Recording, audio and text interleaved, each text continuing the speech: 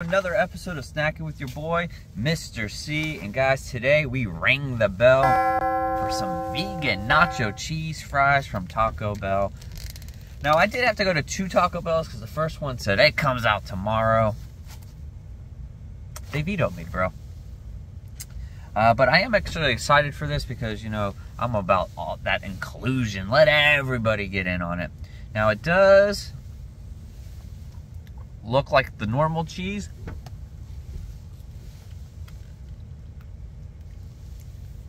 Now, I don't know if you've ever had Taco Bell before, but the fries are delicious.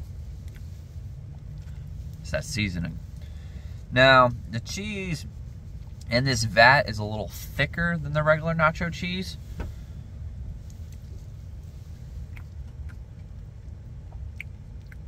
But taste-wise, it's like identical to the regular cheese. Taco Bell, its products are very cheese heavy. You know, you get like the cheesy fiesta potatoes, you have the cheesy roll up, you have the Mexican pizza, which has got the cheese.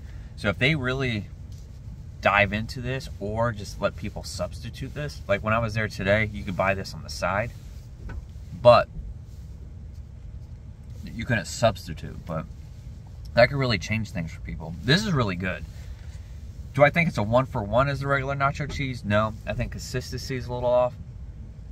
The flavoring is a smidge off. Like I feel like the regular nacho cheese just has a little bit of a little kick to it. Very light. But uh, this is really good. If you would put this on uh, on the side and it tell me anything, or if you put this on my cheesy fiesta potatoes, I wouldn't have been able to tell the difference. Taco Bell, good job. Hey man, I said I'm vetoing that dairy. I don't want that cheese. I want that vegan cheese, bro. And Taco Bell said, huh, we got you. Regular cheese is on the block. It is evicted from the Big Brother house. You got to go talk to Julie Chen. And I appreciate that. Go check it out. Taco Bell nationwide.